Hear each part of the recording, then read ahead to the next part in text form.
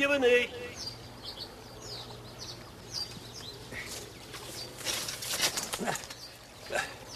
Hallo.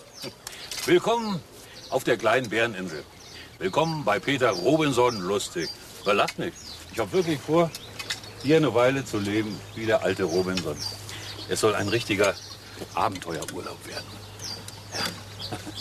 Absolut nichts los hier auf der Insel. Kein Mensch, kein Haus, kein Kino, kein Supermarkt, keine Disco. Nix. Mhm. Ein richtiges Robinson Crusoe-Gefühl. Das Wichtigste habe ich ja dabei. Werkzeug, Konservendosen, Kaffee, was zu lesen, naja, was der Mensch so braucht. Nicht? Äh, Wasser kriege ich von der Quelle da drüben. Und ich habe genügend Gas für den Campingkocher für die nächsten drei Wochen. Danach nämlich holt mich ein Boot wieder ab. Bis dahin aber will ich von der sogenannten Zivilisation nichts hören und nichts sehen. Ich will leben wie ein Urmensch. Ohne Zeitung und ohne moderne Technik. Aber es ist ja auch irgendwie spannend. Denn so kann man mal rauskriegen, was der Mensch wirklich braucht. ne? Also ich zum Beispiel, ich habe, hm, hm, ich habe kein Radio mit und kein Fernseher. Nur meine Armbanduhr. Ich muss ja wissen, wann das Boot mich wieder abholt. Nicht? Na nu, das, das gibt's doch wohl nicht. Die, die stehen geblieben. Die steht. Ausgerechnet hier und jetzt. Aber das ist eine echte Herausforderung an einen Robinson. Ja, der muss Probleme lösen, um zu überleben. Ja, der muss reparieren können. Und notfalls muss er auch eine Uhr auseinandernehmen können. Ja, mal sehen. Ja. Mhm. Was kann denn da kaputt sein? Und, äh, und wie funktioniert so eine Quarzuhr überhaupt? Naja, ich habe mal zugesehen, wie Quarzwecker zusammengebaut wurden. Das ist ja sicher dasselbe. Da wurden ein paar Zahnräder montiert, gar nicht mal so viele. Dann war da noch eine Spule, vielleicht so eine Art Motor. Ja, dann kam ein Deckel drauf. Und, äh, aber Moment, äh, was treibt denn diesen Motor an? Ah, diese Dingerchen hier, hm? Naja, da ist natürlich was Elektronisches drin. Ein Chip, ja, ein Computerchip. Rausgepickt aus so einer Siliziumscheibe, auf der Tausende davon aufgebracht sind. Dieses ganze Computerchen ist nur so groß wie ein, ein Fliegendreck. Aber sie können gut rechnen, diese winzigen Quadrate. Erstmal kriegen sie goldene Beinchen, die Verbindungsdrähte. Und damit äh, sind sie dann verbunden mit einem Quarz, diese silbrigen kleinen Röhrchen hier. Ein Quarz nun kann mit etwas Elektronik drumherum sehr schnelle Impulse erzeugen, zigtausende pro Sekunde. Und das Computerchen in der Uhr, das winzige Quadrat oben links, berechnet dann die Sekunden daraus. Einen Impuls pro Sekunde. Der treibt dann einen Motor an, der seinerseits ja, die Zeiger dreht. Was dann noch drankommt, ist dem Quarz egal. Ja, ich habe mir was gedacht. Die Uhr ist in Ordnung. Aber die Batterie ist leer. Ja. Ohne Power läuft nun mal nichts. Und natürlich weit und breit kein Batterieladen. Hm. Naja, Pech gehabt. Muss ich eben ohne Uhr leben. Aber was soll's? Ich wollte ja sowieso fast wie ein Steinzeitmensch hier wohnen. Nicht? Und der hatte ja auch keine Uhr. Erst später, die Mönche in den Klostern, die mussten ja zu ganz bestimmten Zeiten arbeiten oder beten. Die hatten dann Uhren. Äh, später dann kriegten die Kirchtürme Uhren, damit die Leute wussten, wann sie in die Kirche gehen sollten. Naja, ich dagegen muss nicht arbeiten und ich muss auch nicht beten. Wozu brauche ich eine Uhr? Außerdem, man hat doch die Zeit irgendwie im Gefühl, nicht? Man hat doch eine eingebaute Uhr, eine biologische sozusagen. Ja, ja. Irgendwie weiß man schon, wie spät es ist. Schon allein, weil es regelmäßig hell und dunkel wird. Wenn es dunkel ist, schläft man am besten. So, so einen Wecker braucht man doch eigentlich gar nicht. Der Körper weiß selber, wann er was am besten macht. Bei Nacht erholen, träumen, verdauen. Und dann am Vormittag volle Energie. Jetzt kann man am besten arbeiten. Am frühen Nachmittag dann eine kleine Siesta. abschlafen. Und das alles wird gesteuert von der Sonne. Nicht nur beim Menschen, auch bei den Tieren. Die haben auch ihren Rhythmus. Die wissen genau, wann es Zeit ist zum Wachsein und zum Schlafen. Ganz ohne Wecker. Pflanzen haben auch keine Uhr. Trotzdem wissen sie, wann sie die Blüten öffnen müssen. Das ist wichtig, denn die Insekten, auf die sie erlauern, die fliegen nur zu bestimmten Tageszeiten.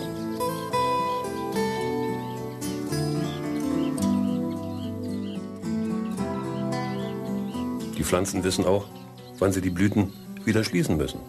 Und nicht nur das. Sie wissen auch, wann sie überhaupt blühen müssen. Pflanzen haben doch keinen Kalender. Trotzdem wissen sie, wann Frühling ist, wann es Zeit ist, Früchte zu tragen oder die Blätter fallen zu lassen.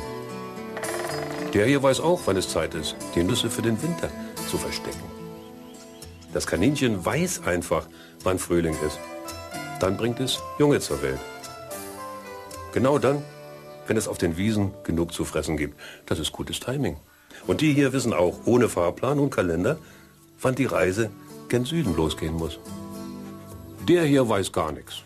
Er verschläft den ganzen Winter. Aber er wird pünktlich aufstehen. Ganz ohne Wecker. Hm. Soll ich nur aufstehen? Oder kann ich noch eine Runde schlafen? Vielleicht ist es schon zu spät fürs Frühstück. Womöglich müsste ich schon Mittag machen. Ja. Meine biologische Uhr ist anscheinend stehen geblieben. Oder sie klemmt. Hm. Nee, also, so geht das nicht.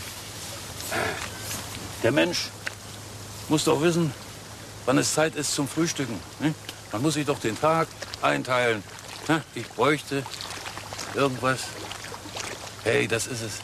Das ist es. Der Schatten da. Das ist doch eine Uhr.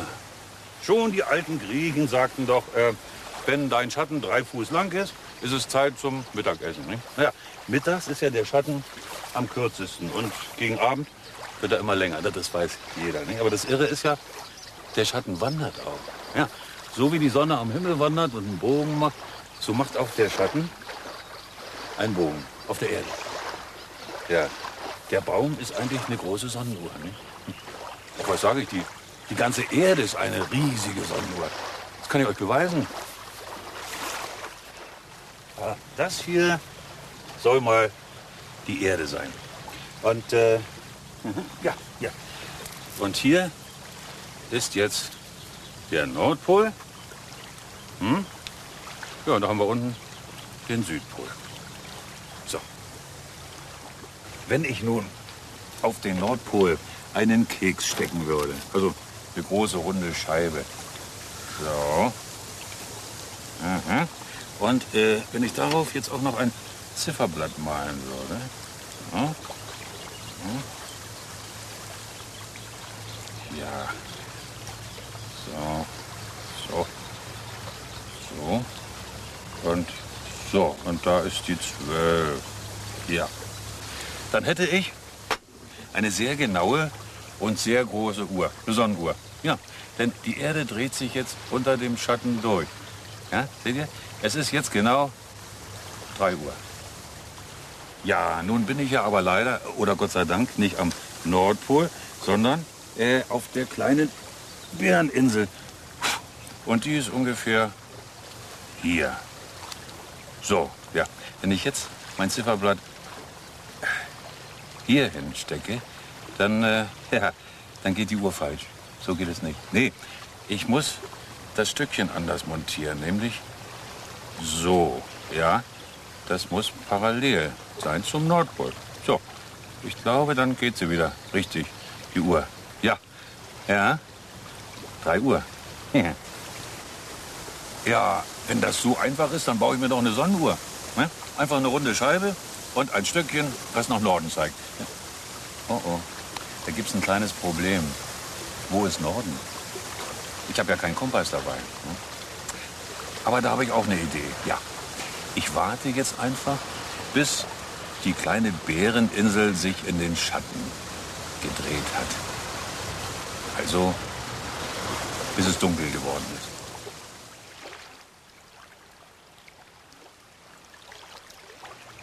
Dann suche ich mir nämlich den Polarstern. Der ist ganz einfach zu finden. Ihr kennt doch Sternbilder. Hm? Äh, das hier ganz bestimmt, den großen Wagen. Wenn man die Hinterachse ungefähr fünfmal verlängert, steht da ein ziemlich heller Stern, der Polarstern. Das ist ein ganz besonderer Stern, denn er steht genau im Norden. Den werde ich anpeilen. So, äh, ja, ja, bis der Ast genau auf den Stern zeigt. Und dann werde ich schlafen gehen.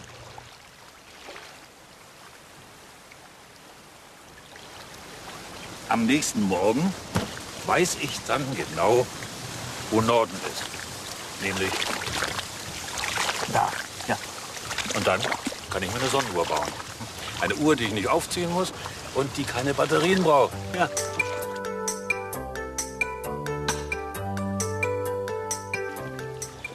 Ja, eine Präzisions-Sonnenuhr werde ich mir bauen.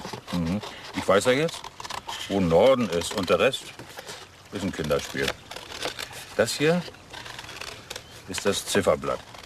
Ich habe da nur, Moment, gleich zeige ich es euch. Ja, ich habe da nur die eine Hälfte gezeichnet, von 6 Uhr morgens bis 6 Uhr abends. Hier oben, das wäre die Nacht, da geht es ja sowieso nicht. Ja, sehr hübsch. Jetzt kommt der Schattenstab. So nehmen wir einfach einen Bleistift. So, durchgesteckt. Und, äh, ah ja, hier unten werde ich es noch abschneiden, dann steht sie besser. Meine Uhr. So, schön, ne? Fertig. Ja, das Wichtigste kommt ja jetzt, das Aufstellen. So eine Sonnenuhr geht ja nur genau, wenn sie an der richtigen Stelle steht. Und diese hier, die muss genau nach, ne, nach Norden zeigen. Ja. Einmal muss die Richtung stimmen, ne, das kann man ja mit dem Kompass rauskriegen, aber auch dieser Winkel muss stimmen. Und der ist in Afrika ganz anders als, sagen wir mal, in Dänemark. Nicht? Und das ist übrigens der Breitengrad, an dem man wohnt. Das kann man ja im Atlas nachgucken. Nicht? Ich habe es ja nun einfach. Ich muss hier den Schattenstab, also diesen Bleistift, nur ausrichten nach meinem Ästchen hier. Und das zeigt er genau zum Polarstern. Ja. ja ich glaube, so kommt es hin. Das kann man ein bisschen verschieben hier. So, Moment. So, na, komm, bleib stehen. Ja. Ja, so müsste es stimmen. Nun wollen wir mal sehen, ob sie geht. Hey, sie geht. Es ist, ui, schon so spät, fast 11 Uhr. Zeit für ein kleines zweites Frühstück, ne? Der Mensch muss doch was essen. Ja. Und danach lege ich mich noch ein bisschen hin. Ja.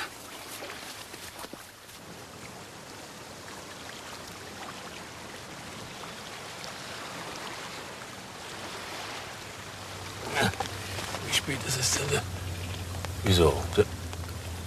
Also, die Sonne ist weg.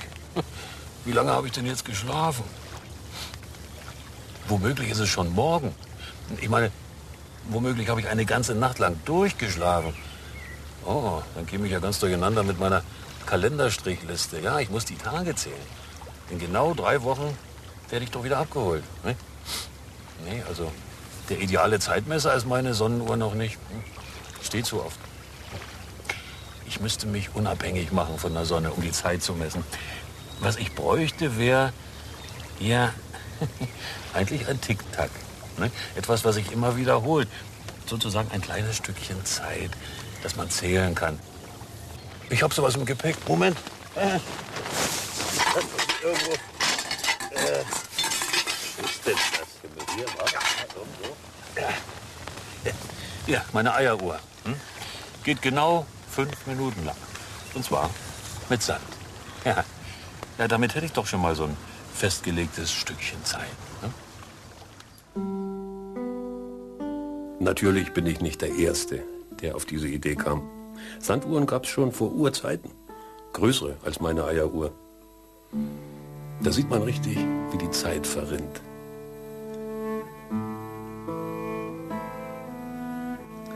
Nein, das ist keine Eieruhr für Straußeneier, sondern eine alte Wohnzimmeruhr. Reiche Leute hatten sowas. Lief ungefähr eine halbe Stunde.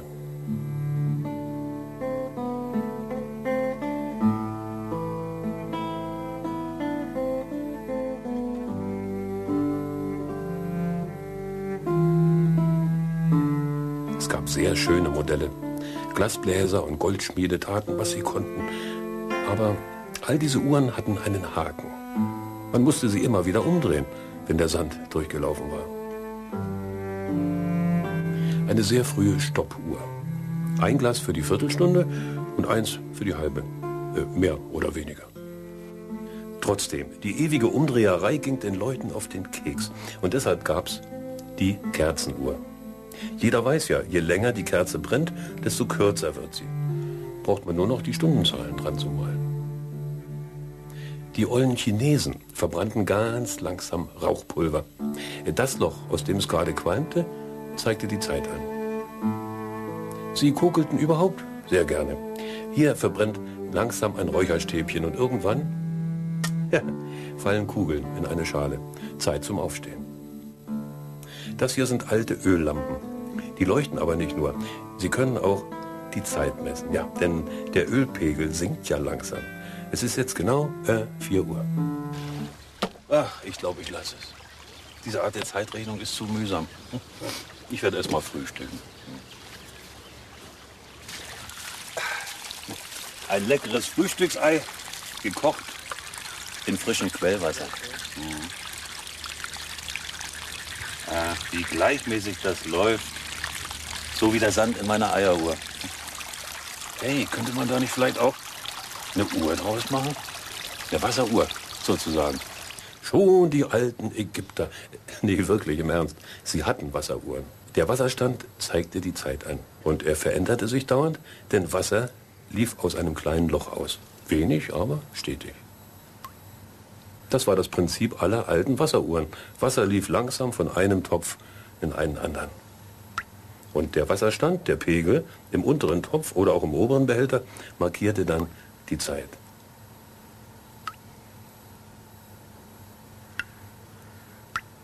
Eine schöne Uhr. Hm?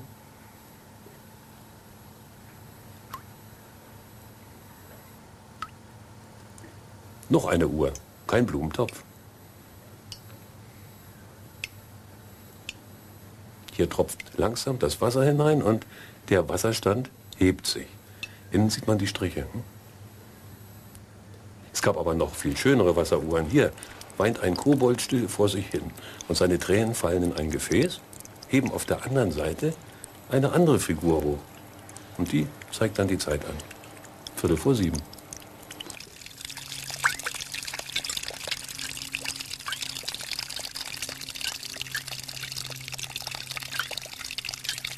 Na bitte. Was die ollen Chinesen konnten, das kann ich schon lange. Meine Konservendosen Wasseruhr geht genau, ist umweltfreundlich und braucht keine Batterien. Ne? Nur tröpfchenweise Wasser. Und das läuft von hier oben in die kleine Dose hier. Da war Gulasch drin. Ja. Nach exakt einer Minute wird die umkippen. Das habe ich gecheckt mit der Eieruhr hier. Wird die umkippen und das Wasser läuft in die Dose darunter. Die ist ja nun größer. Da war drin äh, Würstchen, Linseneintopf. Nach exakt einer Viertelstunde jetzt wird die auch äh, kippen. Das wird gleich soweit sein. Ja. Schon wieder eine Viertelstunde vergangen. Ja. Ist doch eine ganz annehmbare Uhr, ne? Man könnte jetzt noch ein Zifferblatt dazu basteln. Und. Hey, was ist denn da los? Läuft ja nicht mehr. Ein Blatt. Bringt mir ja die ganze Zeitrechnung durcheinander. Das kann ja nun immer wieder passieren. Und so gesehen ist meine Erfindung noch nicht ganz ausgereift. Hm. Ne, dass es gleichmäßig fließen muss, das ist nicht so günstig. Was ich bräuchte, sind kleinere Zeitabschnitte, nicht so ein, ja, ein Tick-Tack.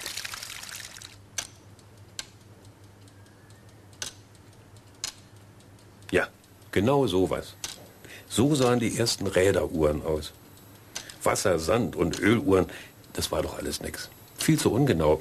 Man brauchte eine gleichmäßige Bewegung. Ja, so wie diese hier. Ein Waagebalken. Der schwingt hin und her, weil er regelmäßig einen Schubs kriegt. Von der Hemmung hier, dem Eisenstückchen. Und das wiederum lässt das große Holzrad sich immer ein Stückchen weiter drehen. Und damit auch die Zeiger. Später hing da auch noch was anderes. Statt des Waagebalkens gab es das Pendel. Ein Pendel schwingt nun mal sehr gleichmäßig. Also wird auch sehr gleichmäßig ein Rad weiter bewegt. Und damit andere Räder und damit letztlich auch die Zeiger.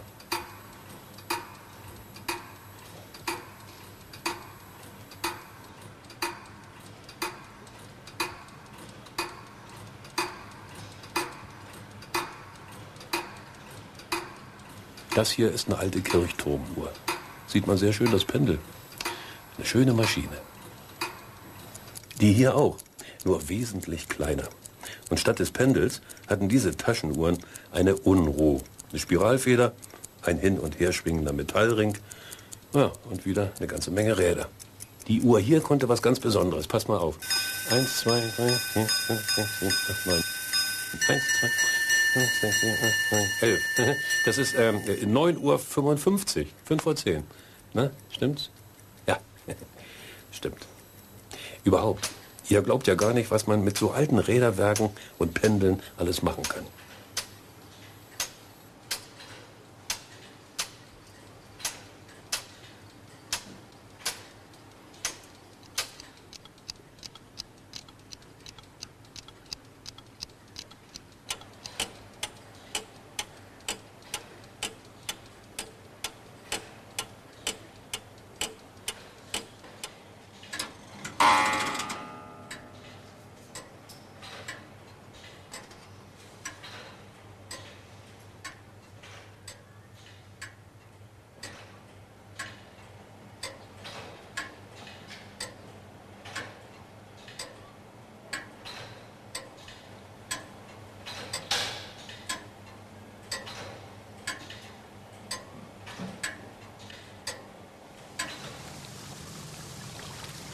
Einundzwanzig, zweiundzwanzig, dreiundzwanzig. Ja, ja, das kommt hin. Hm. Das hier ist ein Sekundenpendel. Hm, Wenn man den Faden einen knappen Meter lang macht, hm, äh, dann schwingt dieses Pendel einmal exakt in einer Sekunde hin und her. Ganz egal, was unten dran hängt. Ja, das war die Idee. Mit so einem Pendel kann man die Zeit zerhacken in kleine, gleichmäßige Abschnitte. Ja, damit hätte ich schon mal eine prima Stoppuhr. Nicht? Aber hm, brauche ich nicht. Was ich wirklich brauche, ist eine Räderuhr. Aber sowas Kompliziertes kann ich mir ja auf der Insel hier nicht bauen. Ah, ist auch gar nicht nötig. Ich habe ja noch meine gute alte Quarzuhr. Eigentlich komisch, nicht? Die zeigt die Zeit immer noch so an wie eine alte Kuckucksuhr. Ja, nämlich analog. Ja.